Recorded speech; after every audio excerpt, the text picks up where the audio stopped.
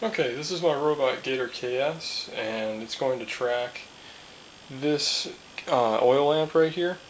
The Nintendo Wii remote on top is actually tracking the uh, infrared emitted off the flame.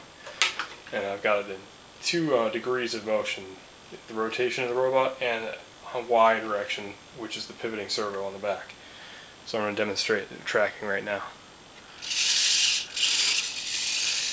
I've got a PI controller both on the horizontal and vertical axis, which allows the robot to constantly keep an eye on the flame. In addition to that, when the uh, robot is centered, I'm using the uh, ping sonar's LED to signal it being centered. You may be able to pick that up as the green LED in the bottom there. So that's when this speaker right here would be actually firing, which puts off enough air to blow out this uh, candle. I'll demonstrate that in a later video when I uh, get that working.